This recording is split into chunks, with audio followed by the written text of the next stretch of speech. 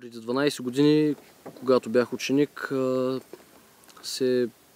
аз бях много запален като цяло по биологията, обичах животните по-скоро като малък. Тогава се сблъсках с БРЗП.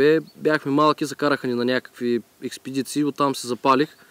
Завърших и се върнах вече четвърта година се занимавам с опазване на царските орли. Правя го целогодишно. През лято пазя гнезда, зимата подхранвам птици стана някаква част от живота ми. Нали? Това е нещо, което обичам. Аз и обичам работата. Нали? В момента пазя орел. Ежедневно 7 дни в седмица стоя тук. Някои биха казали, че е скучно. На мен лично ми е интересно. Опазването на гнездата не е толкова срещу заплахи от хора решили нарочно да направят нещо. По-скоро от местни, които не знаят, че пречат по някакъв начин, приближат гнездото случайно, решат да си направят пикник под сянката на дървото и по този начин, изплашвайки птиците, яйцата изциват и люпилото се проваля.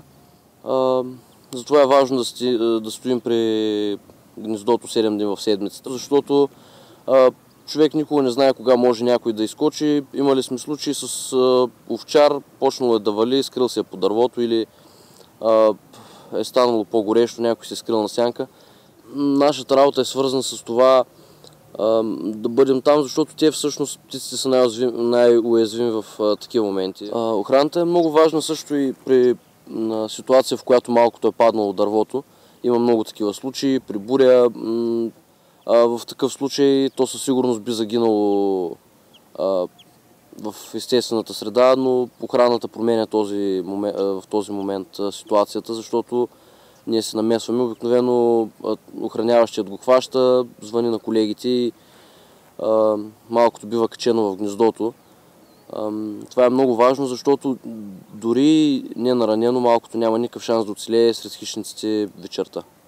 Охраната като цяло наблюдава кога започва да мъти птицата, кога се излюпват малките и след тяхното развитие води се подробен дневник за това какво се случва в гнездото, кога малките биват хранени, като цяло какво е поведението им.